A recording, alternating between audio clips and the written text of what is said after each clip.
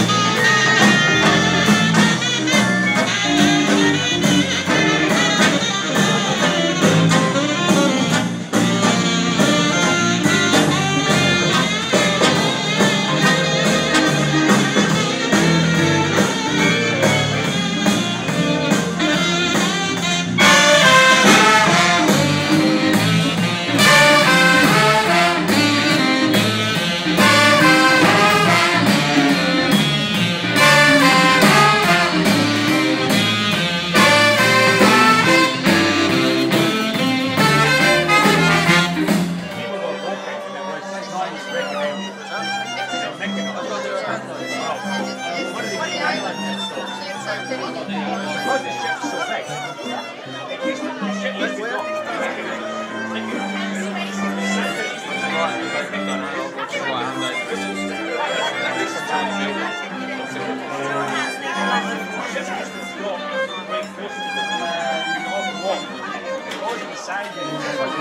you. go.